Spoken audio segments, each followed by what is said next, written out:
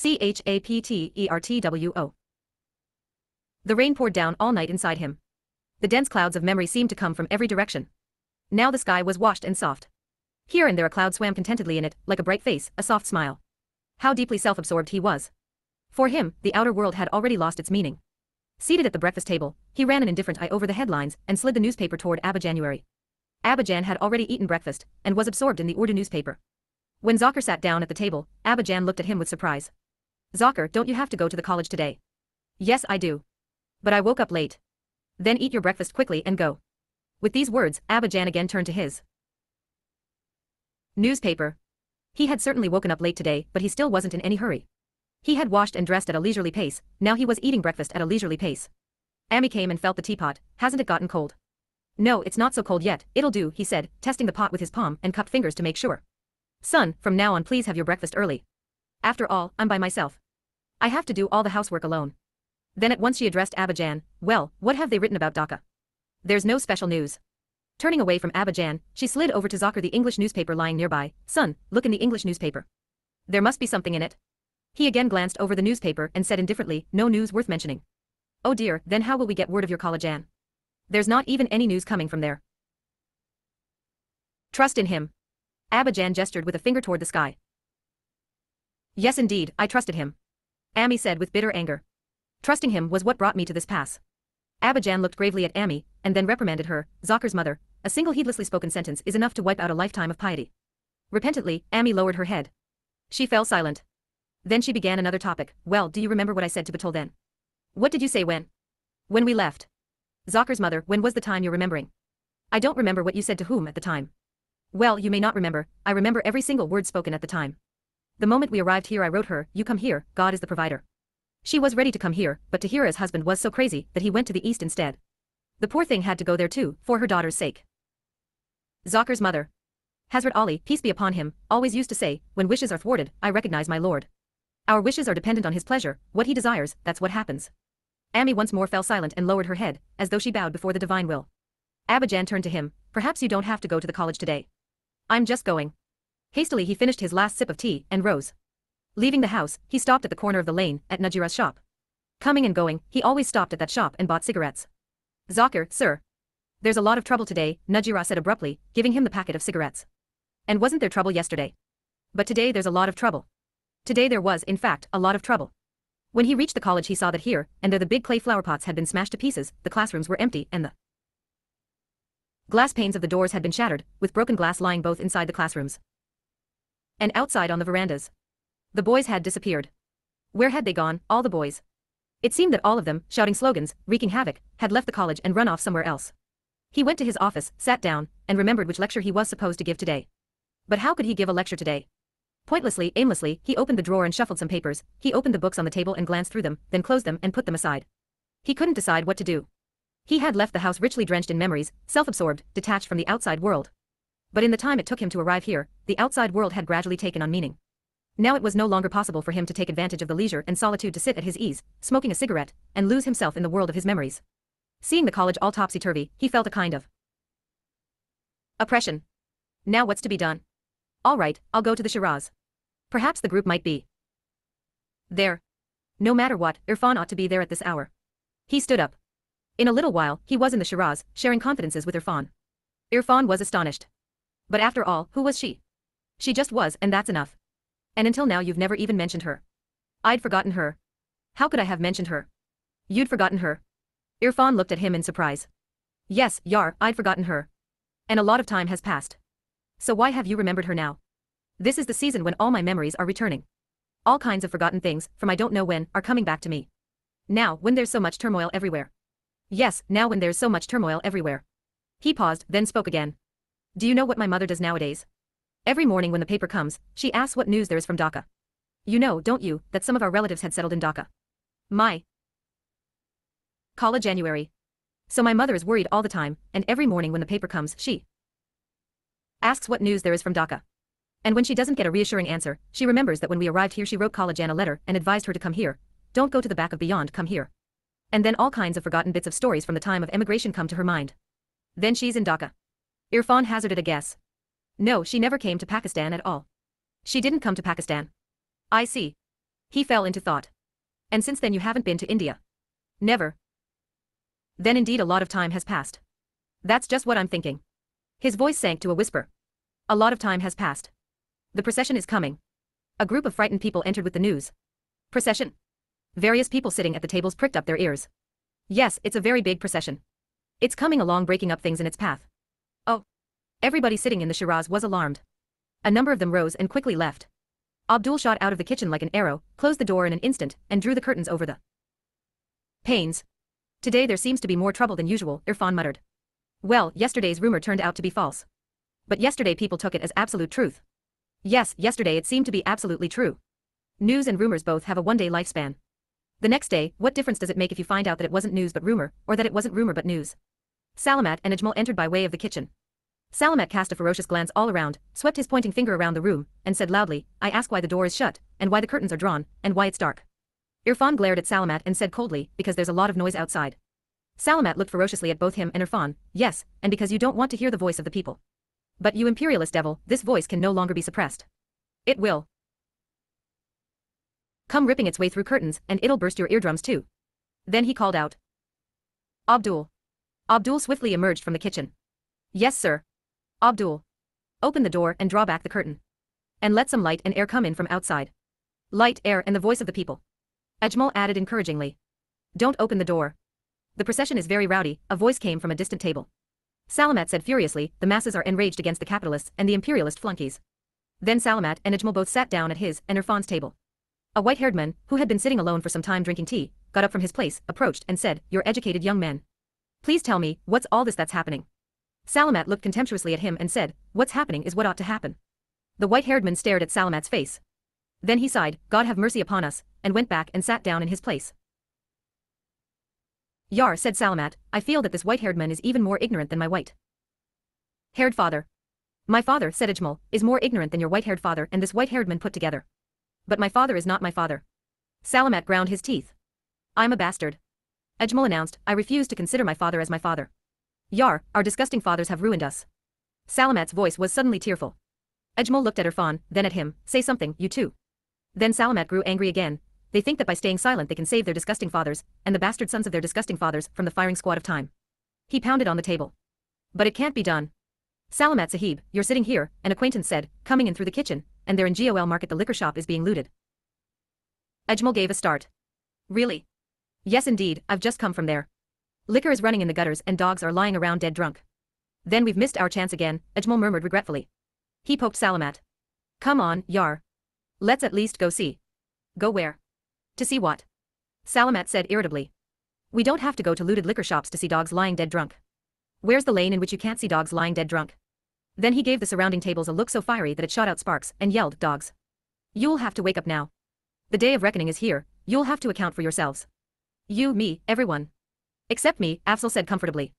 Entering, he had heard Salamat roaring, he had come and stood by the table in silence. Now he slid a chair over and sat down opposite Salamat and said, looking him in the eye, Mouse. Why are you standing up on your tail? I'll have to settle. Accounts with you. I'm only waiting for a bamboo flute.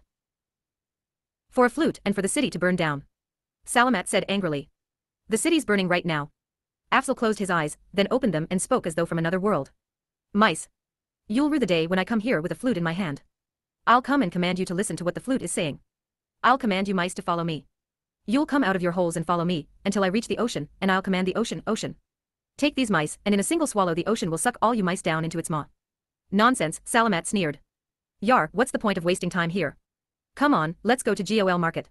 Ajmal seized Salamat's arm, and they went out.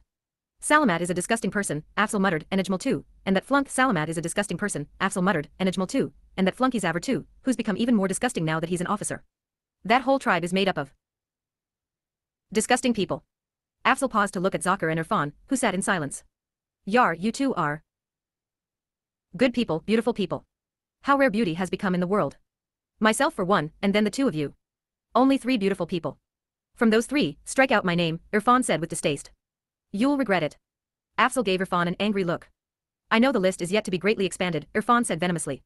Afzal gave him a steady stare. Abdul came by, making an inspection tour of various tables. He saw Afzal and said respectfully, Afzal Sahib, you've come. Shall I bring tea? No. Water? No. When Abdul started to leave, Afzal addressed him, Abdul, you're a good person. He pulled a diary out of his pocket, opened it and wrote something, then said, on this date, I struck Irfan's name from the list of good people, and wrote your name instead. Then he addressed Irfan, from today, you're an ugly person. And remember that the world is never without beautiful people. Abdul silently slipped away. In a little while, he came back with a glass of cold water, here. Afzal Sahib, sir. Have some water. Afzal looked gratefully at Abdul. Abdul. You're a beautiful person. He drank the water, then asked, where did those two disgusting men go? In GOL Market the liquor shop has just been looted.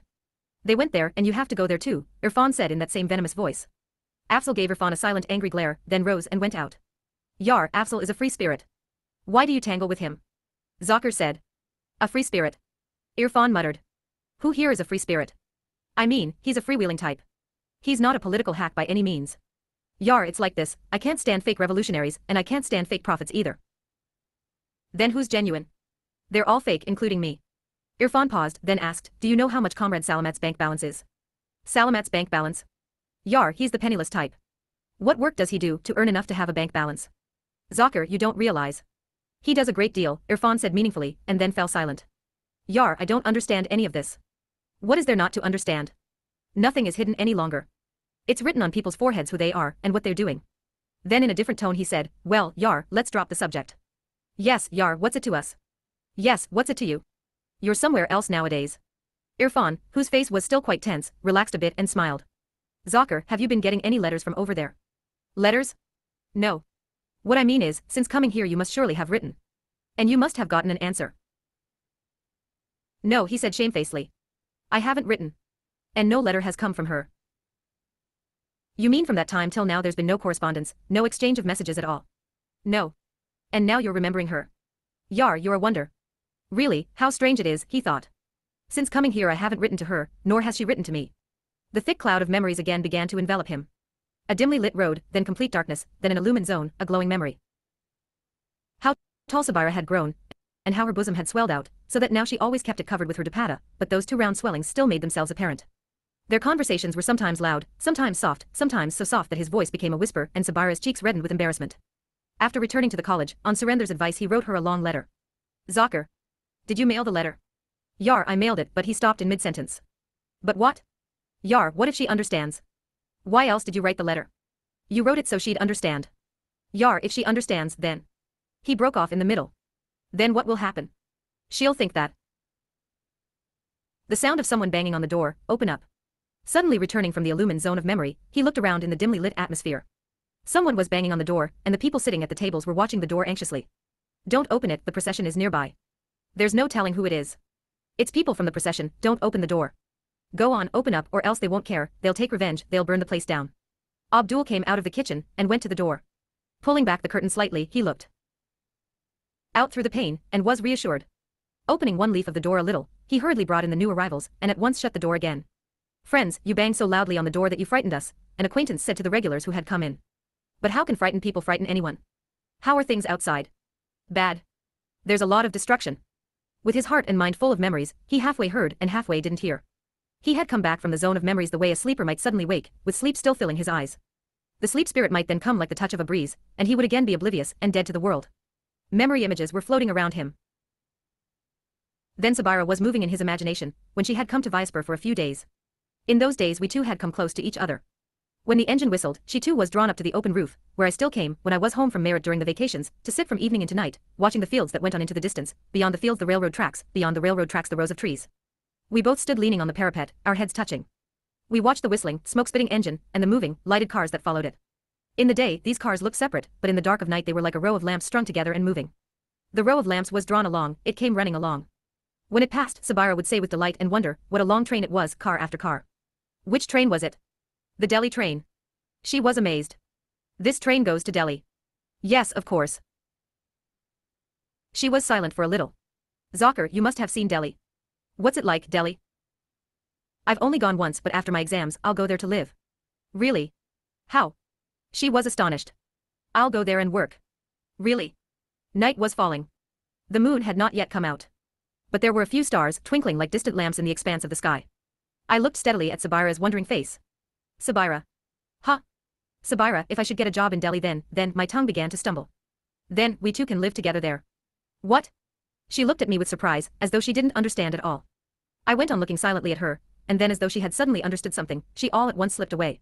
The next day she and I avoided each other's eyes, but when night fell, the whistle of the engine and the clanking of the wheels again brought her to the roof. Keeping her distance from me, she stood with her chin on the parapet. But the train paused in its journey, somewhere in the shelter of the trees and the engine went on whistling. We drew nearer to each other, very near indeed.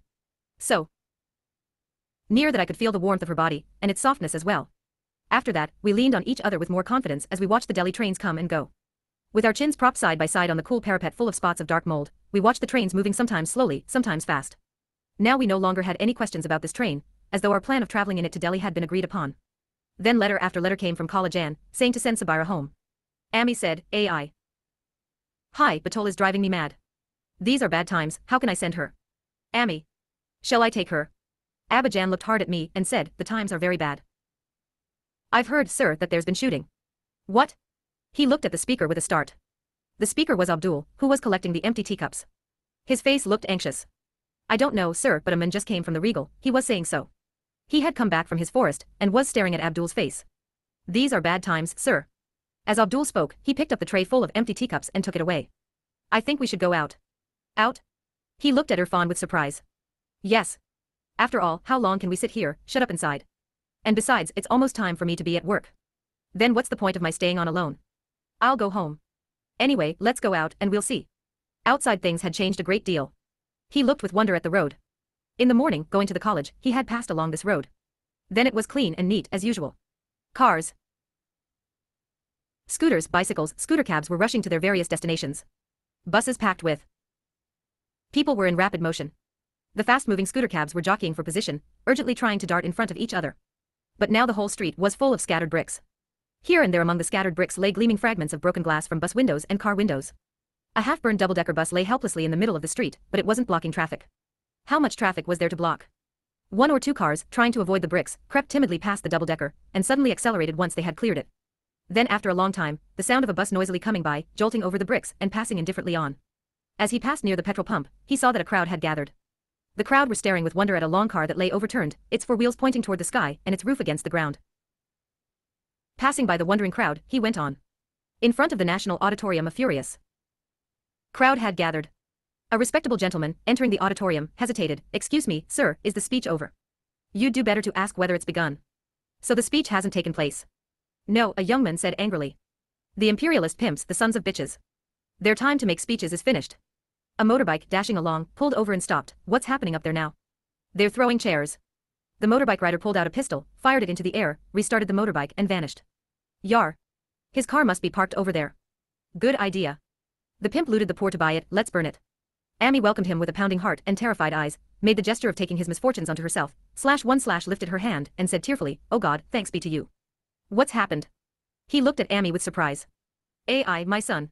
I was terrified. People in the neighborhood were saying that there was firing. My heart stopped beating. I was in a state of panic, I went again and again to the door. I kept praying. AI God, my son has gone out, let him come back safely. Has Zakir come? Abajan's voice came from the outer room. Go my son, show your face to your father and then come back. He was worried too. When he entered the room, he saw that Khwaja Sahib was sitting with Abba Jan. Son. Where's my Salamat? Khwaja Sahib asked the question abruptly. I saw Salamat in the afternoon, then he went off somewhere with Ajmal. The wretch must have gone off with the procession. With the procession? I don't know. The wretch has caused me a lot of worry, Khwaja Sahib muttered angrily. I've heard there was firing. Firing? No. If there hasn't been firing yet, there will be. Has a curfew been imposed? Abba Jan asked somberly. Not yet. How long can it be before it happens? May God the Most High have mercy on this country. Abba Jan sighed. Maulana. In Amritsar, now there was a curfew. Anyone who once stuck his head out the window never got a chance to pull it back in again. The moment a head appeared, they fired. Brother, when was all this? Maulana, this happened at the time of Jallianwala Bagh. What a great fire was started then. For three nights no one lit a lamp in his house, there was so much light from the fire. Oh? Zakir looked with surprise at Khwaja Sahib. Yes, son. Would I tell a lie, now in my old age? It was the biggest petrol pump in Amritsar, the one where the Sahib's cars were filled with petrol. It burned for three days and three nights. The flames reached to the sky. Then what happened was that the bank was looted, then the looting spread to the cloth market. Then a curfew was imposed. It was a curfew like the wrath of God. When anybody stuck his head even a tiny bit out the window, there was the crack of a rifle, and he dropped like a stone. The Europeans did so many cruel things, Abajan muttered. Maulana, everyone has oppressed us, the foreigners too, and our own people too. Aren't there? Cruel things going on right now. He paused then said, but really, the English were held in so much awe. What authority they had. Proclamation was made that whoever had looted any property should put it outside his house by evening. After that, the houses would be searched. I tell you, Maulana Ji, you won't believe it, but people who hadn't looted a scrap of cloth put their own property out in the street. People even piled their daughters' dowries outside their houses. By evening, the streets of Amritsar were heaped with satins and brocades. Abajan listened in silence, smoking his huqa. Then he cleared his throat and said, God bless him, my venerable father always told how in 57 there was such a strict curfew that they had to keep even the bodies of the dead in the house for three days sometimes. They couldn't even get a piece of plain cloth for a shroud, and they couldn't even get a grave for the burial. They would wrap the body in coarse sacking, and in the dark of night, making sure that no soldier was watching, they would bury the body right there in the lane. He fell silent, then said sadly, What? Hard times Muslims have faced. But, Maulana, now what times are coming upon the Muslims? Abajan raised his forefinger toward the sky, only he knows. Maulana. Let me tell you one thing, we're destined to endure bad times at the hands of our sons. I tried to make Salamat see reason, son, your wits are wandering. Why do you ruin your throat yelling slogans? And what answer does he give me, but we're going to change the system? Abajan said gravely, Khwaja Sahib. In this world there have lived 124,000 prophets, and has the world changed? No sir, it hasn't changed. Then when the prophets haven't been able to change the world, how will your boy and mine change it? Maulana, you're quite right. The world cannot change. Khwaja Sahib, I've reached such an age, what times have come, and then gone again. Each time I've seen the same result. Some hot-blooded types have had their blood cooled forever. As for the rest, they've looked out for their own interests and made their own deals. Sir, you're absolutely right. Please, Maulana, tell this to that bastard Salamat. His blood is still hot, he won't be able to understand it yet. It can only be understood after living a long time. And Khwaja Sahib. I now no longer intervene, under any circumstances. You're very right. In Pakistan, there's no point in speaking out. Khwaja Sahib, there's no point in speaking out anywhere. Yes sir, exactly, exactly. Whoever speaks out is arrested. At least, we've seen this happen in Pakistan. Abajan silently slid the huqa over toward himself, took the mouthpiece in his mouth, and was lost in thought. Khwaja Sahib sat in silence. Then suddenly he addressed Zakir, in the afternoon he was with you. Yes sir. Then he didn't go off with the procession. I don't know. The bastard, Khwaja Sahib muttered angrily. Then he said, the truth is that his mother is very worried. I told her, count your blessings, you have sons. Be patient about your son, but she couldn't be patient. He paused then said, how could she be patient? One son went to Dhaka and got trapped there, one son is ruining himself here. Have you had any letters from Karamat? That's the worry, that we haven't had any letters from him. Place your trust in him. Abajan gestured with his finger toward the sky. Well, we do place our trust in him. Maulana Sahib. That Karamat of mine is so lovable, so obedient and respectful. Look how the Lord arranged it, the one who's a vagabond and a ruffian is. Here grinding our hearts into powder, while the well-behaved one has gone and got trapped there. Poor boy. As he spoke he stood up.